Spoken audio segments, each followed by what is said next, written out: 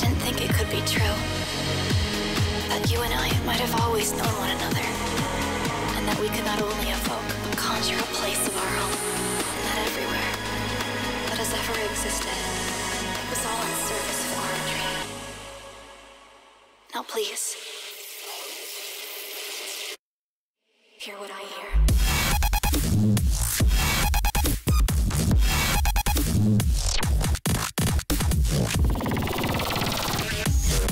Let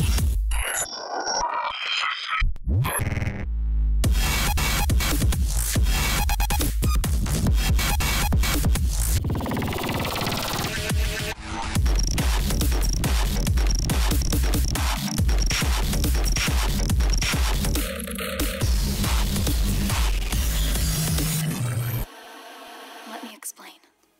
This ugliness, this cruelty, this repulsiveness, it will die out. And now, I cry for all that is beautiful.